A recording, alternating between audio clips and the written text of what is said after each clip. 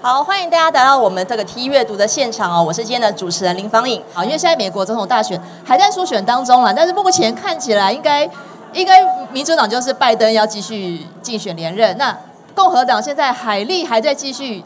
还没有放弃，但是是不是现在看起来应该就是川普会出现了，对不对？没错，呃，应该是川普会代表共和党呃在选总统。对，所以 Ross 这边掌握的消息，因为你之前是这个呃共和党前亚太区主席嘛，所以你觉得共和党现在看起来党内有没有在呃怎么已经在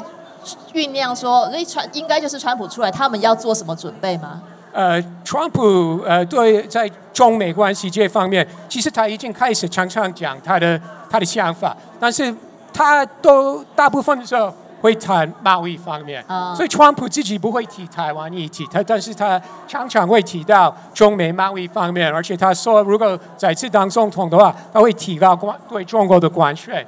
再再加十趴或或甚至更多了。所以我真的认为重点不是川普他本人，因为我个人认为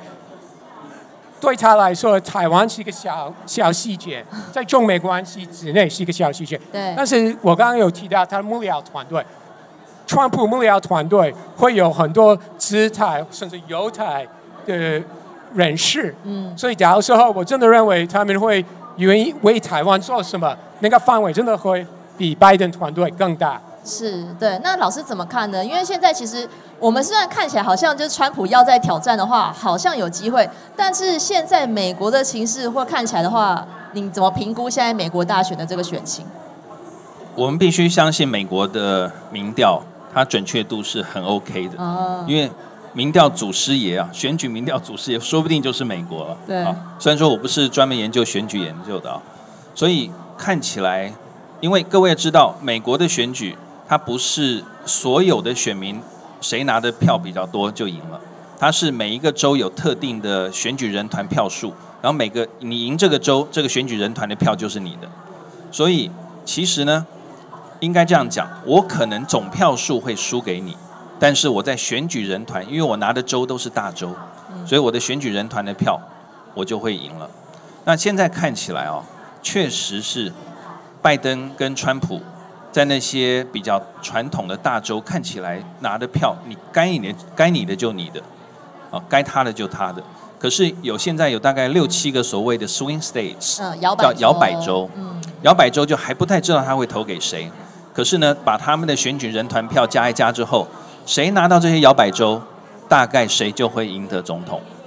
那么在这六七个摇摆州里面呢，川普在大概我们过农历年前啊，川普大概都领先百分之三到百分之六。那百分之三还不算是那么的稳定，但是百分之六呢，就说他已经算是稳定的领先了。所以，如果一个情况就是川普把这六七个摇摆州最后都拿下来了，那么美国总统就是川普了。那川普上来之后，刚刚 Ross 已经讲过了，会有一些不管叫支台派或有台派的人会进入到川普的内阁。不过现在蛮好玩的就是，就在前几天，美国有一篇这个比较这个比较知名的政治报道，他说，目前你们听到的这些熟悉。中国政策的美国专家可能都不会进去，就算川普当总统，这样子。他说，因为他们都不喜欢川普。好，那川普不是一个很容易对待的老板是啦，嗯，对，而且他也会得罪很多人。嗯，所以他们说，可能这些你们平常听到名字都不太会进去。剩下的一些，当然我就不点名了啊，因为有有几个我也认识。但剩下几个点名进去呢，他们原则上被点名的都是所谓的对华鹰派。都是对华鹰派，那对华鹰派会不会造成了呃美国拿台湾当成是刺激中国的一个对象呢？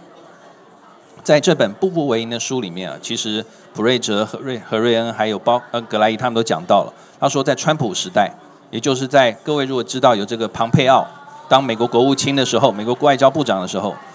庞佩奥因为很讨厌中共把香港的所谓的这个国安法啊。推动香港国安法的立法，还有钳制香港人民的这个集会结社的自由。所以书里面说，庞佩奥因为讨厌中共这样做，所以呢，他就把台湾推到前线去刺激中共。所以中共坐在北京呢，他就更认为说，好啊，你美国果然是拿台湾来戳我，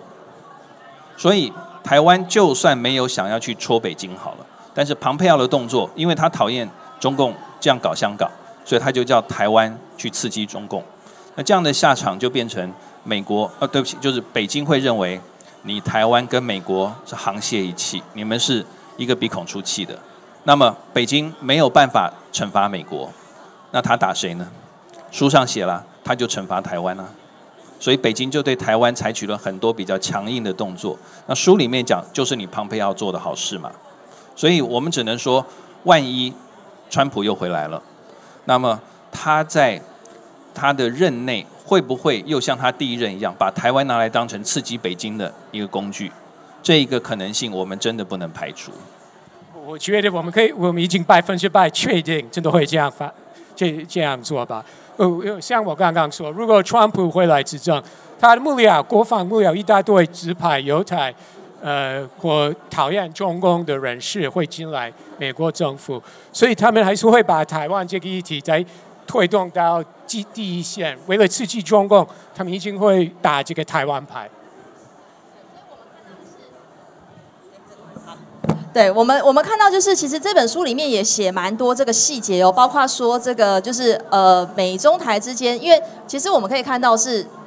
如果以之前那本《第呃一触即发》这本书来看的话，也可以看到说，川普其实对于中国，他的他是有转向的。他在前两年原本不是对中国这个态度，后两年突然转向，所以我们现在会觉得川普是一个他比较难预测，他接下来到底要对中国。是呃鹰派还是鸽派？是，或者说他就会，他现在还是难以预测啦。但是如果照两位这样现在民调的预测的话，感觉川普如果上任的几率看起来大一点，但我们完全确定。那是不是台湾这边要有所准备呢？就是我们总不能说。呃，之前就是呃，现在是民主党执政，只跟民主党好；共和党执政，只共和党好，是不是？其实台湾的民间原本也有在运作，说对于两党之间有已经做一个沙盘推演，说假设是川普当选，或是呃这个拜登继续连任，那台湾这边总要有点阴影吧？就是两位的了解。我我做一个预测好了，四年四年前，二零一九年那个时候，蔡蔡英文呃要连任的呃一个。呃，选举期间，很明显台湾押宝川普，这这个我觉得那个时候台湾政府是很明显押宝川普连任成功。虽然政府常常否认，他们说我们没有押宝川普，我们是我们我们是中立，对美国选举我们是中立，但是我们都知道，其实他们真的是押宝川普。我相信今年的下半年来总统团队依然会押宝川普。真的，那老老师老师怎么看呢？因为现在现在真的已经距离美国总统大选只剩下，对，就是应该算起来也还在半年左右的时间。那台湾这边对要要怎么样应应？老师这边有没有一些就是有些线报，已经知道台湾有在运作了这样？其实 Ross 刚刚讲的就是在二零二零年的时候，台湾发生的状况，因为川普他一直找中国大陆的麻烦。包括贸易战，其实包括科技战啊，都从川普时候开始的。所以在台湾呢，确实有一些人，他们认为说我一定要挺川普，因为川普才能帮我出头，帮我出一口气。所以各位如果记得的话，在二零二零年有一份呃世界性的调查，川普在各个国家的支持率啊，在各个国家支持率，在亚洲，川普支持率最高的地方在台湾。也就是说，台湾的民众很高比例，甚至是亚洲最高支持川普。好，好，当时的政府呢，我也必须说，是给人家这种感觉，觉得说好像我们都在压川普，而且川普看起来好像声势也还不错啊，在那个时候。那但是确实，我们必须要知道，这个美国本来就是一个长期两党轮流执政的地方，所以不应该只压一边啊，不应该只压一边，而且。讲白了就是本来就应该广结善缘嘛，所以我相信这个民进党政府在上一次显露出这样的一个态度之后，他这一次应该不会那么的明显的说好，我就继续压那个民调比较高的，我就不太理那个民调比较低的啊。我相信民进党政府这一次应该不会这样子了。不过我觉得台湾必须要思考一下，就是说我们当然必须要依靠美国。美国是我们中华民国从一九四九撤退到台湾之后最重要的支持。可是呢，我们现在已经不可能只靠美国就可以搞定两岸关系。我的意思就是说，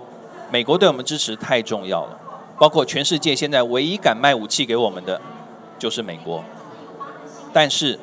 只靠这些军事的对抗，或者是贺主力量的培养，那个是一个层面。还有一个层面是美国大概不一定能做到，要靠台湾自己来的，那就是要稳定两岸关系，让两岸关系的互动能够制度化。因为两岸关系的互动，其实它是一个政治关系，它不是，它不应该是个军事关系。也就是说，在贺主这些国防力量之外，我们另外一块讲的应该是说，怎么样让两岸的善意逐渐增加，恶意逐渐的降低。如果今天我台湾一味的就是说，我要买那个 M1 坦克，我要买 F 三十五，我要买很多暗制的哈马呃这个。这个叫做不叫哈马斯，现在都忘记海马斯，不是哈马斯最海马斯海马斯飞弹。你一直在强调你的军事武装的力量，你比不赢中国大陆突飞猛进的军事实力的发展。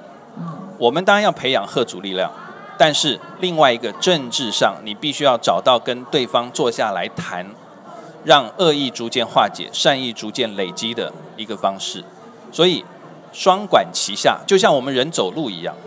人走路，两只脚走路，绝对比一只脚来得稳。我们现在就像是一只脚跳来跳去的，不小心会跌倒。我们必须要找到台湾处理美中关系时候的第二条腿，也就是我们必须跟中共在政治上有善意的发现。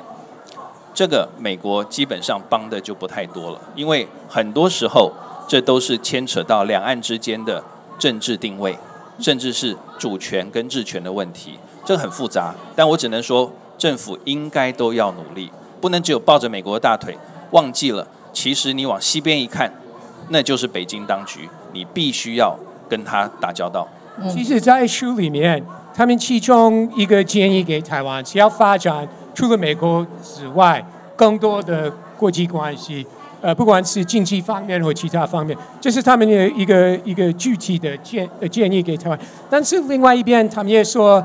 任何一方，不管是中中共和台湾，不要片面改变现状。对，我我觉得这个稍微有点矛盾，因为如果台湾真的跟其他的国家变成好朋友、盟友之类的，的确是改变现状，不能说那是不改没有改变现状。想看最完整的新闻内容，记得下载 TVBS 新闻网 APP。